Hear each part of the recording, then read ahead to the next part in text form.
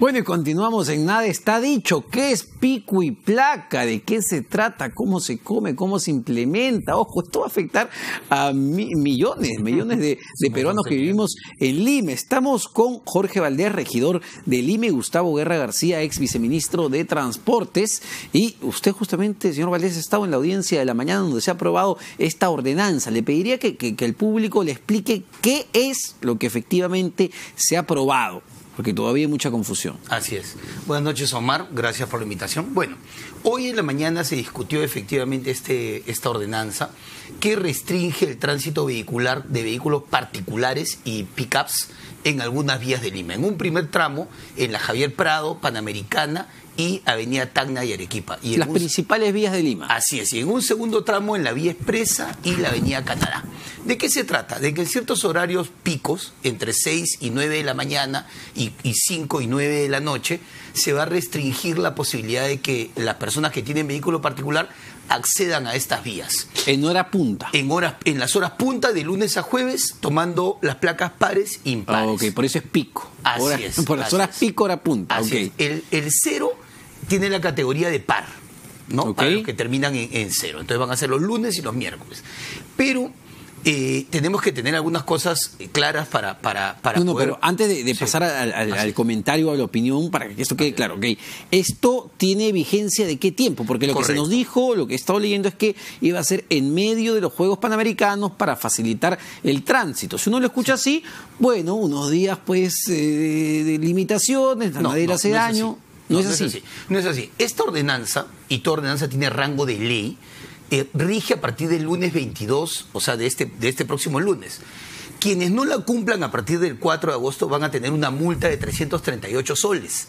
Y es una ordenanza que no tiene plazo final. O sea, si bien se está tomando dentro del marco de los panamericanos para dar facilidades, es una ordenanza que no tiene plazo final. Mal se está diciendo que es un plan piloto porque no lo es es una ley que va a tener que tener observancia por todas las personas y el que no la cumpla se va a hacer acreedor de 338 soles de multa. Don Gustavo Guerra García, ¿cree usted que esto tenga efecto sobre el caótico tráfico limeño que sufrimos todos los peruanos que conducimos por estas calles?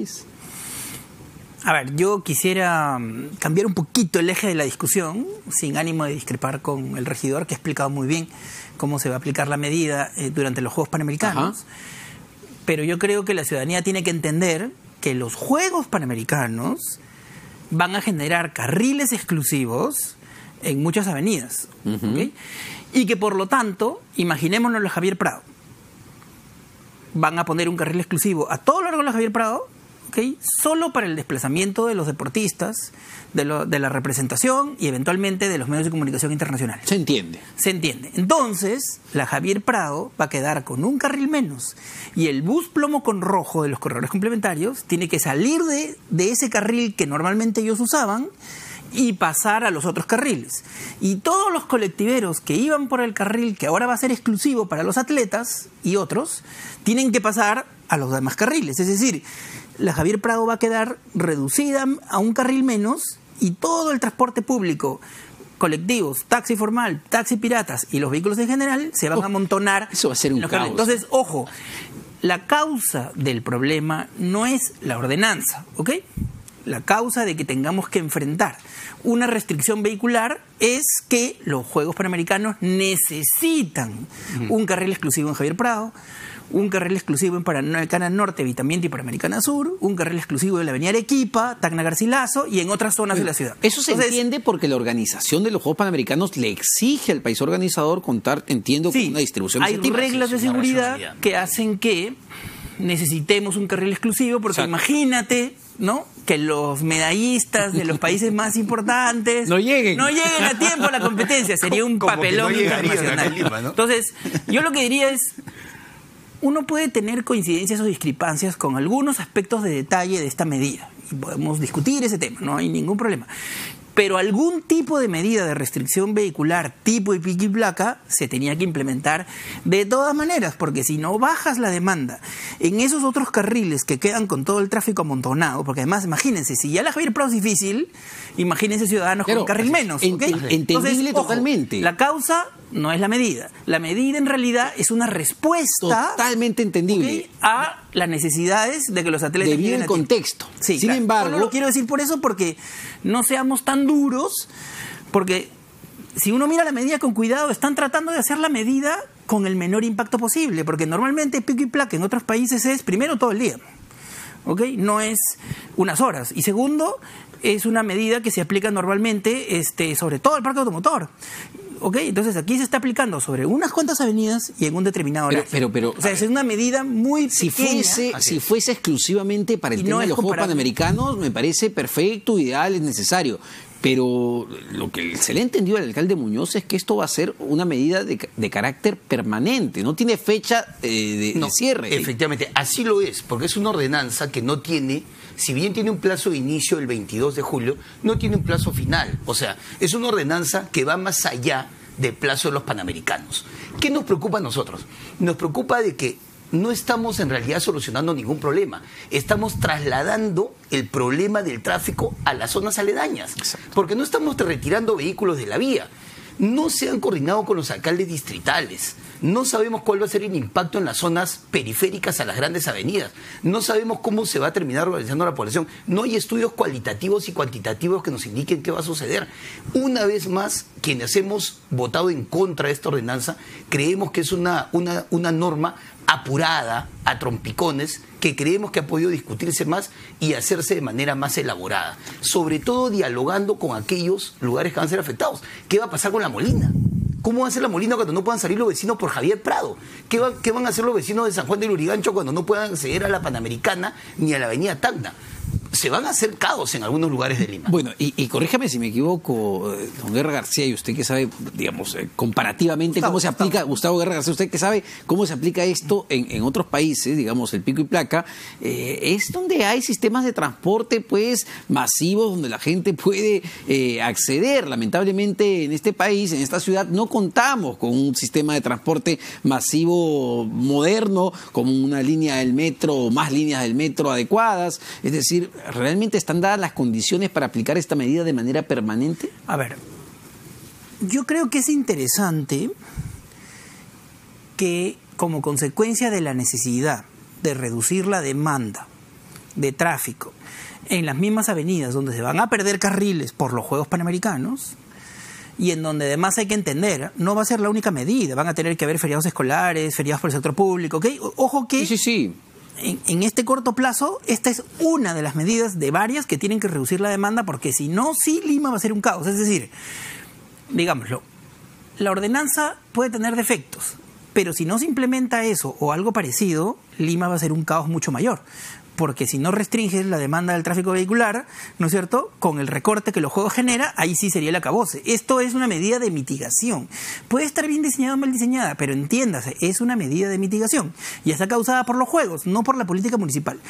A mí me parece que como Jorge lo ha señalado, como que no ha habido el tiempo suficiente para explicar todo esto, porque se requiere mucha mucho compromiso de la ciudadanía para que haya un cumplimiento voluntario, porque fiscalizar es bien complicado, ¿ok? Placas que van en un flujo a toda velocidad, ¿no? Y digamos que tú sales a una hora y se te vence la hora, En el ¿no? medio de la Cuando te faltan 10 minutos para llegar al fin de la avenida, ¿no es cierto? O sea, vas a hacer? se van a dar situaciones complicadas. Entonces lo que quiero decir es, primero, se tenía que tomar una medida de este estilo de todas maneras. Otra cosa es la discusión si la medida tal cual puede permanecer en el futuro, que yo creo que es imposible. Por una primera razón, porque en primer lugar los Juegos Panamericanos se acaban y el bus plomo con rojo lo que va a ir es al carril exclusivo. Porque yo entiendo que, digamos, el mayor aprovechamiento es Lima necesita justicia social en relación al territorio y al espacio para darle más al transporte público por donde va el 70% de la población, yo creo que sí. Los Juegos Panamericanos son un experimento para ver cómo funcionan carriles exclusivos, eso no está mal, eso es bueno. Los buses de los corredores complementarios, de los que hayan, ¿no es cierto? ¿Tienen que pasar a esos carriles exclusivos? Yo creo que sí, ¿ok? Es lo mejor que puede pasar y la mayoría va a ir rápido por esos buses, restringiendo un poco el- los vehículos privados, pero la forma como está definida la ordenanza es solo para los juegos. O sea, de todas maneras va a tener que haber otra ordenanza, porque con esas características específicas, solo en corredores complementarios, solo en estas rutas, en ese horario, Es inviable, tal no, cual. está diseñado para los juegos. Entonces, tiene- si, si quieren poner esto para el futuro, tienen que diseñarlo de otra forma. Y en esa otra forma, yo sugeriría experimentar con cosas como ordenar primero el parque de taxis, porque digamos, el 72% de la congestión en las intersecciones Los colectivos, la generan ¿no? Taxis los taxis Los taxis piratas, colectivos. los taxis formales y los colectivos. Entonces, si tú no pones orden en los que generan el 72% de la congestión, porque todos los vehículos privados generan el 38%. 28, 28%, ¿no es cierto? Restante. Entonces, es obvio que yo creo que si vas a aplicar en el futuro picos y placas, en verdad yo comenzaría controlando el taxi, eliminando la piratería y poniendo un esquema rotatorio. O sea, basta que los taxistas, digamos que fueran 200.000, 100.000 formales y 100.000 piratas, basta que los hagas rotar en el día, unos tra- pueden trabajar de 6 de la mañana a 6 de la tarde y otros de 6 de la tarde a 6 de la mañana, y tú vas a tener una descongestión importante. Si eso no es suficiente, puedes ir escalando a medidas mayores. Entonces yo creo que para la parte permanente sí me parece que hay que estudiar mucho más este tema, ver todas las alternativas, ¿no? Y, y yo creo que no hay que pensar, porque no es posible, que este mismo esquema se va a mantener a futuro. Si eso lo ha declarado la alcaldía, yo creo que es un mensaje muy confuso que puede llamar a que la gente se preocupe más de la cuenta. ¿no? mucho más, ¿no? Otro tema sensible que me gustaría tratar con ambos es el tema de la línea amarilla, el AMSAC, porque eh, entiendo que el 24 de julio es eh, el día ya donde se define la posición, tanto la municipalidad le ha hecho una propuesta al concesionario, el concesionario hasta el momento le dice no en el tema de los peajes, no entiendo en el diseño de la ruta alterna y tenemos simplemente una conversación entre dos eh, pares que no oyen, no se oyen entre sí. Así es. El, eh, el día 24 de julio es la fecha en la que concluiría el proceso de evaluación conjunta en el que nos estamos inmersos entre la Municipalidad de Lima, Rutas de Lima y Línea Amarilla, las dos empresas concesionarias de peajes. Y ninguna quiere bajar peajes. Pero por supuesto que no, nos han mandado cartas diciendo que ellos se quieren quedar sus 30 años y eso. O sea, en las empresas, el, el único que habla acá de negociación y renegociación es Jorge Muñoz. ¿ah? Las empresas ni siquiera lo mencionan, porque las empresas consideran y lo dicen en sus cartas que nos mandan a nosotros los regidores, que sus contratos están firmes. Y si el alcalde Muñoz creo que habría mencionado que la negociación con línea amarilla está con que le falta en cuidados intensivos, Sí, quien sí, va sí. a terminar en cuidados intensivos es la gestión de Jorge Muñoz el 24 de julio, porque la población le va a demandar un resultado real y una toma de decisiones reales. Tiene que decidir entre la nulidad o la terminación anticipada. La gente ya no quiere esos peajes y las empresas se pretenden quedar por 30 años más. Bueno, y lo es han algo que ya no anunciado. se ¿ah? puede permitir. Jorge Muñoz esta semana leía, anunció la anulación o la terminación anticipada. Es que no le pero queda otra vía Me, me parece que cualquiera de las dos vías nos van a llevar a un arbitraje internacional. A ver, yo creo que todo depende de cómo tomemos la foto, ¿no? A ver. Digamos, a ver, yo vi un reportaje de Panorama en donde la conductora del programa dijo que ella tenía fuentes muy firmes en que se decía que la obtención del contrato original de Línea María por OAS y LAMSAC había sido a través de una acción corrupta de 17 millones de dólares. Entonces, si eso fuera verdad, es decir, si en el proceso de la investigación del caso Lavajato se llegara a comprobar que hay, un, hay una acción de corrupción que va a tener una sentencia judicial, ¿no es cierto? Para la obtención de la concesión, en mi opinión, la posición del municipio de Lima sobre la posibilidad de anular el contrato se fortalece muchísimo. O mejor dicho, la anulación es algo que el municipio puede hacer. Lo que está en juego es si nos sanciona o no un Exacto. tribunal internacional. Si tenemos que pagar, Entonces, claro. en mi opinión, si conforme avancen las investigaciones, conforme sabemos más, porque incluso ahora Odebrecht está generando una diferencia, ¿no? Una cosa es lo que dicen los testigos como personas y otra cosa es Lo que dice cuando la software. empresa misma, Exacto. ¿no es cierto?, va como color eficaz institucional y jurídicamente como empresa a reconocer otras cosas, como el gasoducto, que Exacto. nos hemos enterado hace poco. Entonces, yo diría, si a lo largo de las próximas semanas y meses se, se sabe que una o dos de las concesiones ha sido obtenida, ¿ok? O sea, que la adjudicación fue conseguida con un pago millonario, entonces la anulación puede ser perfectamente factible sin sanción del CIADI. Pero, pero, ¿Ok? Pero con la información que hay hoy, eso no es posible. Pero a ver, con la información que hay hoy. si yo pero yo, soy- si- creo que podría verse. Si, si yo soy Vinci, la empresa francesa que le compró la concesión a la brasileña eh, corruptora OAS, yo digo, bueno, yo le compré, yo le compré el proyecto con la anuencia del mi- de la Municipalidad de Lima, que hace, porque tien- tenía que haber so- haberlo aprobado. No sé si el Ministerio de Economía también tenía que haberle dado el visto bueno a esa, a esa compra de concesión. Y en el caso No, de Rutas de Lima, eh, eh, en el caso de Rutas de Lima era eh, Brookfield, el fondo de inversión canadiense, que le compró una participación a, a Odebrecht. Entonces uno dice, ok, nosotros no tenemos nada que ver con, con la relación que ustedes hayan tenido con los brasileños. Nosotros nos hemos metido en un negocio con la anuencia de las autoridades. Así es. Sobre esos negocios, sobre esas adendas y sobre esos contratos, pesan muchas dudas. Ya tenemos personas detenidas, tenemos un sentenciado y otros que ya desfilarán por, por, por algunas otras consecuencias. Pero ¿qué tenemos? Tenemos un negocio de un promedio de 90 mil millones de soles y una probabilidad de perder ante organismos internacionales que nos demandaría, pagar un promedio de 10 mil millones. Finalmente, por donde vayamos, la ciudad va a terminar ganando, porque vamos a recuperar tres cosas, la dignidad, los peajes y la credibilidad de la ciudadanía en instituciones que están perdidas. Esas cosas tenemos que recuperarlas. No podemos continuar en esto, no podemos prenderle al bolsillo de la ciudadanía 30 años de pago en peaje. Recordemos que el peaje va a seguir subiendo de precio, porque lo pueden subir- seguir subiendo por tipo de cambio y por impuesto selectivo al consumo. O sea, ¿de qué estamos hablando?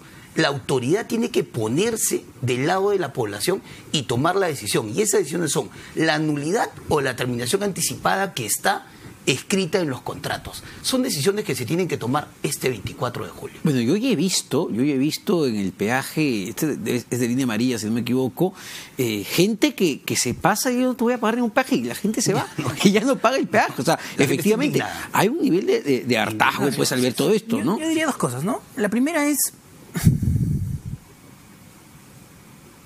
Los peajes están en un nivel superior al que se establecieron en los contratos originales. Sí. O sea que, digamos, hay dos niveles de discusión, ¿no? Sí. Yo lo primero que comenté fue bajo qué circunstancias podemos anular sin tener sanción. Ahora, es verdad lo que Jorge dice. Es tal el volumen de ingresos por peajes que es posible que lo que te sancionen sea menor a los ingresos por peajes. En términos de es negocio. posible, es posible. Habría que echar números, pero sí, intuitivamente yo diría que Jorge tiene razón, es un buen punto, ¿ok? Puedes perder, pero aún así es tanto lo que está en juego, porque los peajes de Lima recaudan más que los peajes del MTC todos juntos. Sí. Para tener una idea, o sea, es una caja lechera Mil millones. gigantesca, ¿no? Y además están a una tarifa mucho más alta que lo que se firmó, por eso es que es brutal el- el- los ingresos. Ahora, la otra estrategia es que digamos, mientras las pruebas del caso Lavajato no fortalecen tu posición de anulamiento, tú puedes actuar legalmente contra varias adendas y decisiones que son claramente ilegales. ¿no? Totalmente. Entonces, por ejemplo, solo para dar un ejemplo, supuestamente el municipio de Lima le debía 142 millones de dólares eh, a, a, a- a OAS, ¿no es cierto?